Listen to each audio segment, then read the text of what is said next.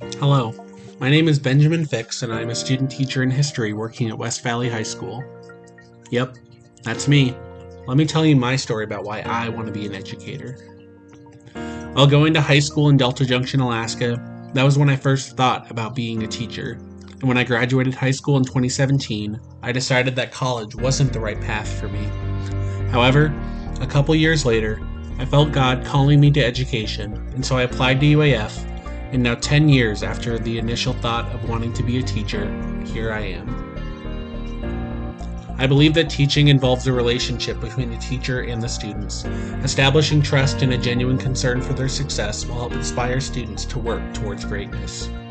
I believe that I have made it to where I am because of the teachers and professors I have had who believed in me and wanted to see me succeed. Education can be the silver bullet to solving poverty and improving the opportunity for success for each and every student. This begins with our teachers. Margaret Mead said, Never doubt that a small group of thoughtful, committed citizens can change the world, because it's the only thing that ever has.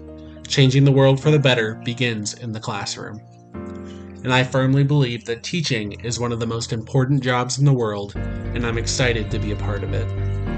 Student teaching has allowed me to have some of the hardest experiences of my life, but I have come out of it stretched and grown in so many ways. I have learned that a well planned lesson takes time, and that teaching is an art, but it's also a science. I have learned that a good joke at the right moment is exactly what your students need. This year, I took the opportunity to get involved in and out of the classroom, and it has enriched my entire experience. and taught me that a teacher is one who not only teaches content, but experiences. Whether it was at the We the People state competition, making sure that our students could participate in kids voting on election day, or helping homecoming be a success, I took every chance to be a part of the Wolfpack family that welcomed me with open arms. I want to thank Amy Galloway and Heather DeMario for allowing me into their classroom almost last minute.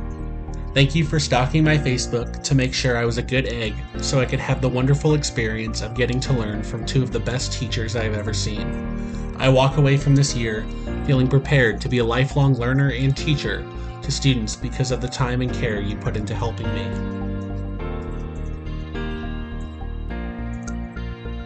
I would also like to thank Dr. Cost and my advisor, Colleen Angaiak. Thank you, Dr. Cost, for being the empathetic, caring, and honest teacher that you are.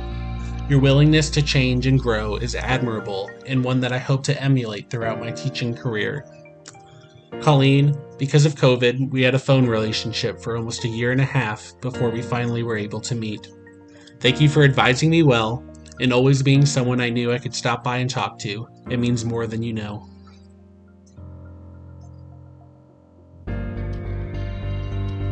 And as I leave West Valley and UAF, I will cherish the memories and impact that I have made here, but also the impact that these places and the people there had on me. I will end with a quote by my favorite historian, David McCullough Be generous, give of yourself, have the courage of your convictions, whatever path you take, whatever your work, enjoy it. Because for one thing, if you're happy, you'll think better. Thank you.